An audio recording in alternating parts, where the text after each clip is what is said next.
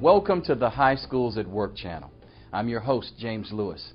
As students grow in their adolescent years, they begin to explore their unique passions in an ever increasing number of ways. There's no such thing as a typical adolescent. And just when you think you have one figured out, he or she changes. James, how could you? I couldn't help it. That rich, creamy, dairy-free, smooth, tasty treat. It was so good.